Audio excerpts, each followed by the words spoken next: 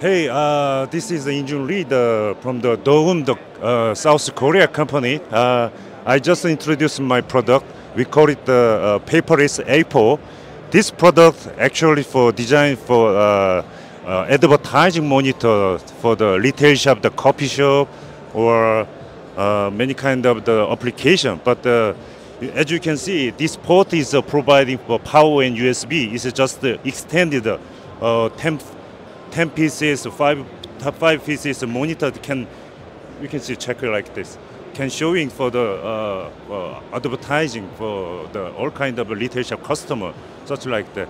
For poster master board is connected, master monitor is connected to the internet. It, It is uh, downloading for all kind of content to feeding like the such kind of the uh, slave monitor.